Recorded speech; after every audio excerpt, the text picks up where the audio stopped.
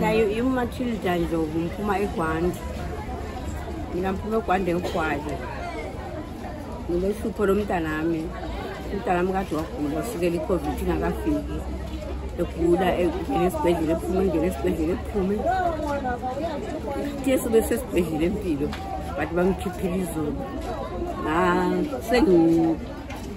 cela komunye unenso ukuthi manje ngenza njani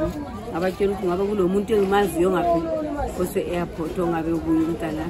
wabuya wazomlanda umntulu wami uthe kuye wazomlanda wahamba laye khona ngale so angikayifika khona khona zakuyafika khona zakucela izimoto ahambe ngiyofika khona ngale mntana mkade wagulule cancer esibelethu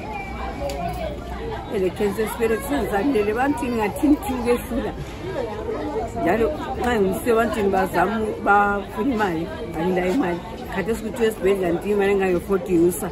yokuthi elaliswe ekhishwe inyama beyibona ukuthi kuyini okukhonzela khona ukuthi ehlale pho ngiphatheke kuye esibhedlela phuma kuyela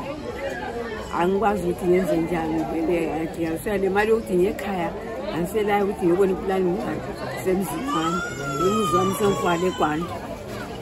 besizwile lapha gogo ukuthi lilala emakethi kungabe kuliqiniso yeliqiniso lala emakethi lapha oh, lilale lapha isikhathi esinganani ah sule isikhathi esikhulu last year ngalala three months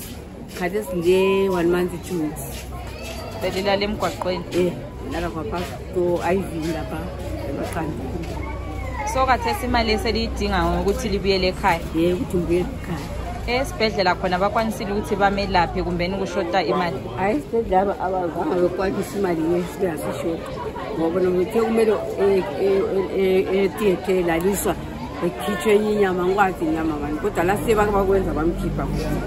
basithengisa so kufunakala malini i-forty forty years dollars khona ukuya ekhaya yimalini ukuya ekhaya yi-twelve dollars twelve dollars kuphela so abangali abangabe befisa ukulincedisa lina likhala ngani ikakhulu ngikhala nge-forty years le mali yokuthi ngekhaya kuphela nxa bangangincedisa umntwana ngizabona ukuthi ngizenza kanjani lami nxa sengifike ekhaya but angila lutho engilalo ekhaya angila lutho engilalo ngimi nje njengae kodwa umuzi ngilawo